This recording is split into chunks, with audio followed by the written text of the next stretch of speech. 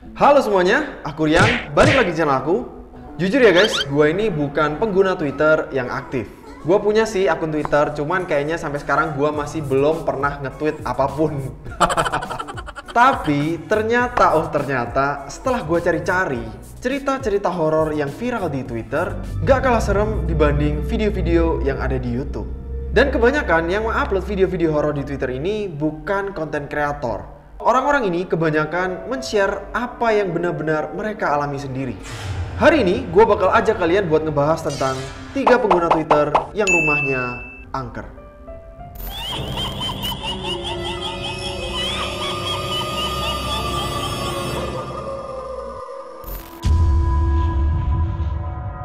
iPensu. Seorang pengguna Twitter dengan username iPensu sempat mengatakan bahwa rumahnya berhantu. Di dalam salah satu tweetnya, dia sempat memposting sebuah video dari sebuah kamera CCTV yang ada di rumahnya. Dan suatu malam, ada sesuatu yang aneh yang tertangkap oleh kamera.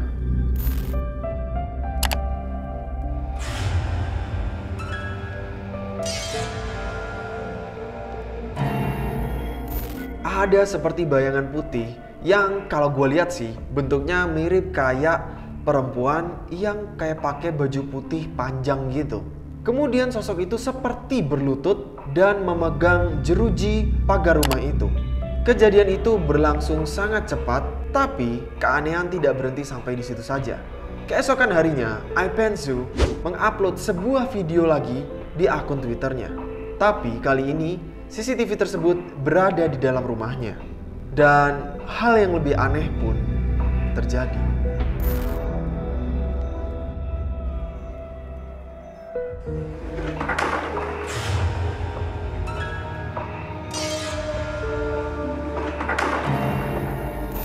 video yang kedua ini, bayangan yang sama berwarna putih.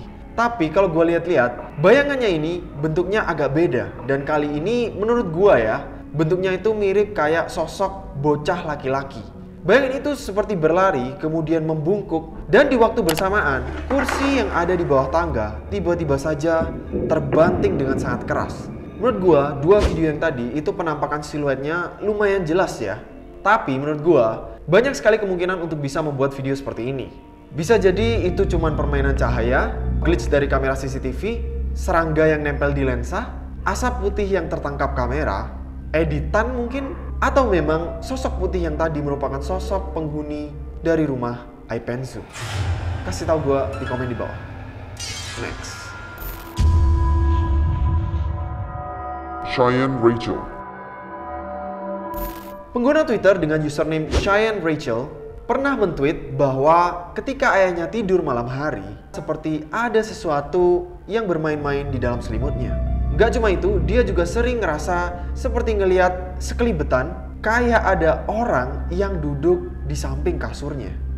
Padahal ayahnya tersebut selalu tidur sendirian. Jangan tanya ke gua ibunya ke mana ya, karena gue juga nggak tahu. karena Doi penasaran, akhirnya Doi memutuskan untuk merekam dirinya sendiri ketika sedang tertidur.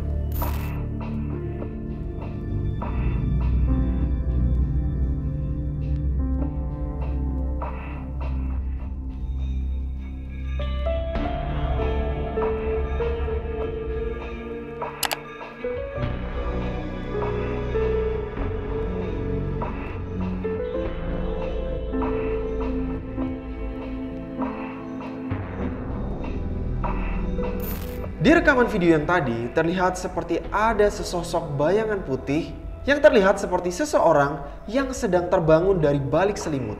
Kemudian bayangan itu seperti duduk dan bayangan itu seperti hilang masuk kembali ke dalam selimut.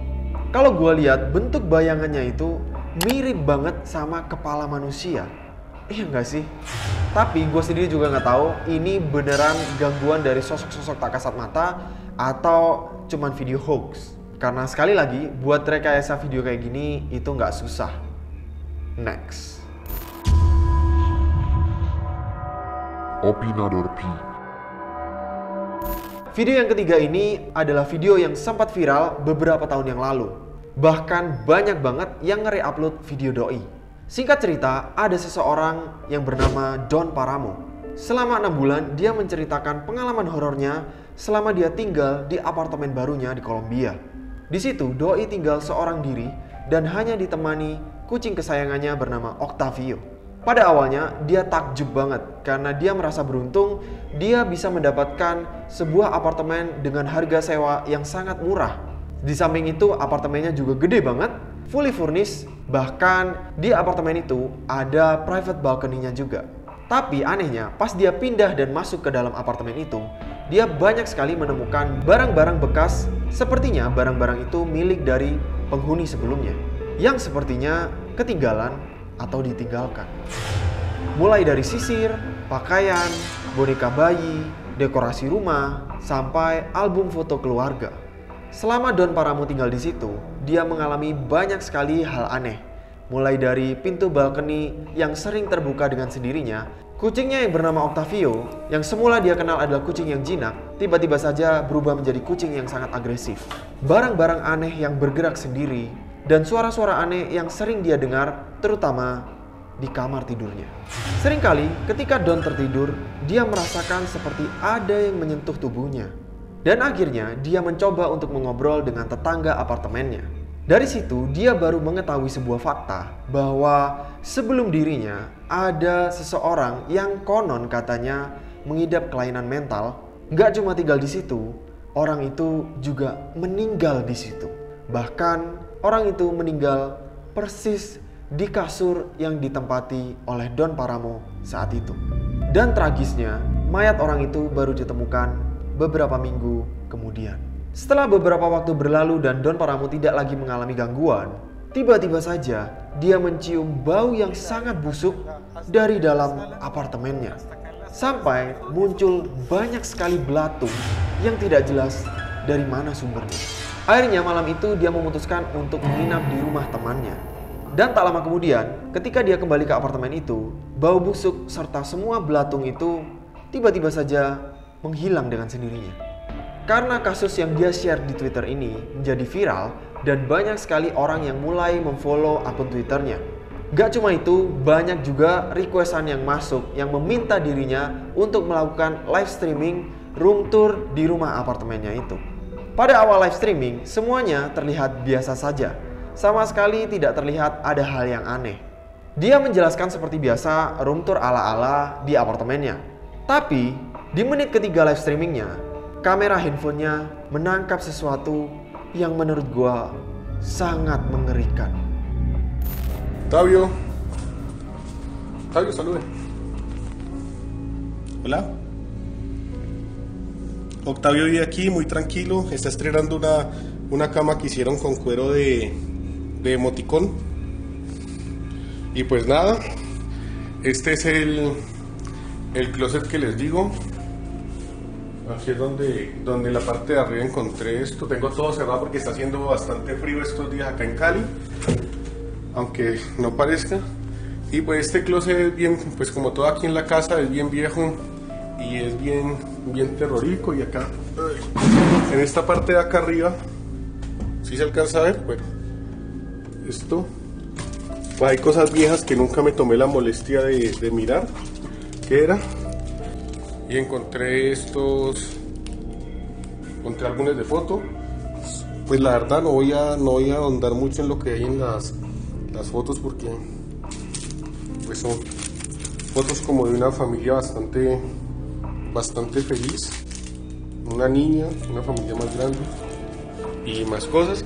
Y lo otro que encontré nuevo fue como un, un hueco que hay en la parte en la parte de afuera por la parte de la terraza hay una especie de hueco que no sé a dónde va y se los voy a mostrar.